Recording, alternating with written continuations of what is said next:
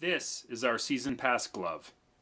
It's made from super tough, incredibly grippy, and supple soft leather, double reinforced in the palm and padded on the knuckles. It has a neoprene short cuff with Velcro closure and is insulated with a fixed liner that has 200 grams of breathe fill.